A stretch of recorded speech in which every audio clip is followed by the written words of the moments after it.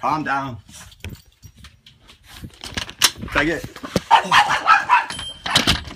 Uh, basically, uh, we're just following up with the phone call because you know there's a lot of news reporting about Jade Helm and that. I was just wondering if you had a couple minutes to talk about it because they you called in kind of concerned about it. So we follow up with anything national like that, and we follow all that national stuff, as I'm sure you're aware of.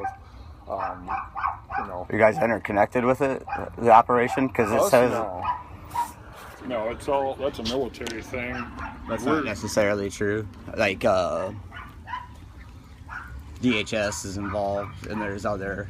FBI isn't with DHS. I understand. Yeah.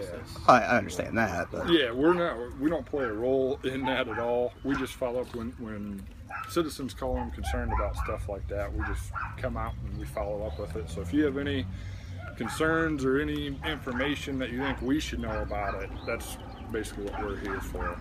uh, I mean, uh, yeah, because it, I have concerns because it just keeps getting.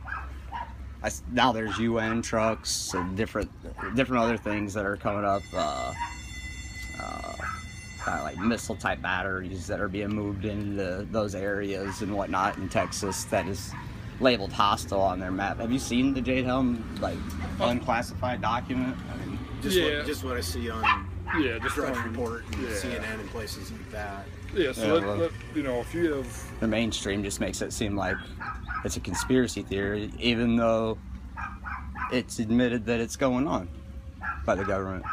Yeah, and Jade Helm, from what we understand about it, is just a an exercise put on from the military, uh, uh, like that's directly correlated with what they're doing in the Middle East, and we're just trying to see, you know, guys Well, like you that have. Hold on a second. Let me grab this document.